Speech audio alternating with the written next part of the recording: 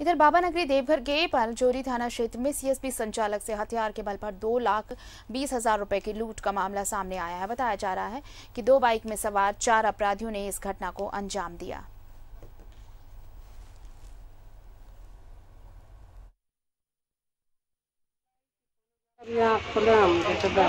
चार आया अपराधी दो बंदूक लेके दो लाख बीस हज़ार पल्सर था एक जिसका थाना में जाके ही किए हैं हम लोग ये वाला दिए लिखित दिए पेट्रोलिंग वाला वो लोग दिया टोटल कितना पे हुआ दो लाख बीस हज़ार प्लस तीन मोबाइल मोबाइल भी ले गया है मोबाइल की धनबाद